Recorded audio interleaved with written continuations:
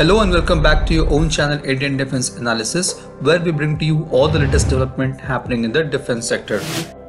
The Tata Airbus deal for the manufacturing of C-295 aircrafts and the recent impetus by government of India in aerospace manufacturing is attracting many foreign players such as Boeing, Lockheed Martin and GE to name a few to set up their manufacturing plant in India. We have been reporting about all these news.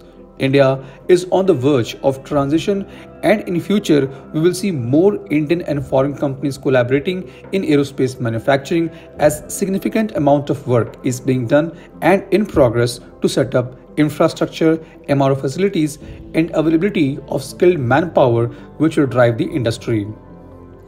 Embraer, a Brazilian aircraft manufacturer, is well-known name when it comes to commercial and business jets. The DRDO's Netra Mark 1 AW&C is also based on Embraer ERJ-145 aircraft. The firm is studying the development of next generation turboprop aircraft with rear-mounted engines and a jet-like passenger experience.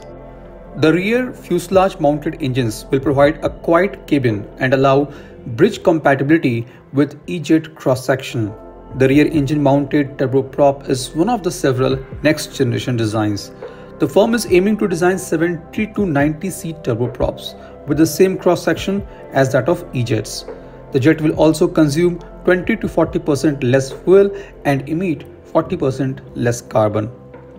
In its bid to find potential manufacturing partners for its proposed turboprop design, Embraer says it is in active discussions with India and other regions globally. In the field of aircraft manufacturing, there are two firms in India which have vast experience, which are Tata and HAL. The Brazilian playmaker wants to launch the project soon and would ideally like to see the jet enter into service later this decade. Embraer is looking to launch the project sometime in the middle of next year so that the plane could enter service around 2028.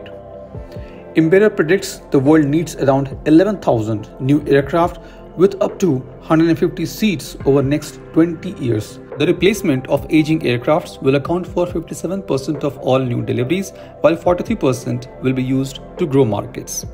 Now, this is a very good opportunity for India to further boost its aerospace industry. These aircrafts can also be used for military applications such as development of ISR platform such as ISTAR. This was today's update. Please let us know your views on this in comment section. If you like the video, do not forget to like, share and subscribe. With this, I would like to say goodbye and Jai Hind. We'll soon back with more interesting and amazing development happening in the defense sector.